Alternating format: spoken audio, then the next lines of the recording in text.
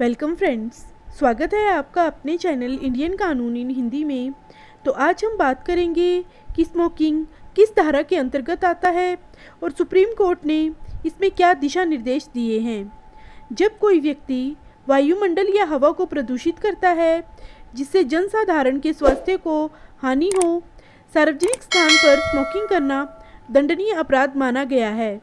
Supreme court ने राज्य सरकार को ये दिशा निर्देश भी दिए हैं कि आईपीसी की सेक्शन 133 क्लोज एक सब क्लोज ए के अंतर्गत सार्वजनिक स्थानों में स्मोकिंग को पूरी तरह से बंद किया जाए।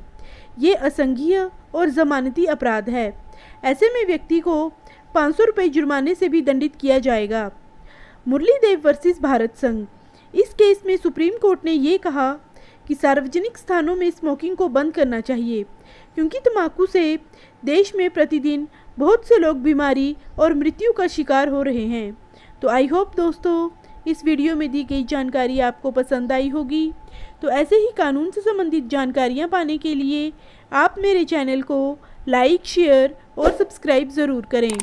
वीडियो में लास्ट तक जुड़े रहने के लिए आप सभी लोगों का धन्यवाद।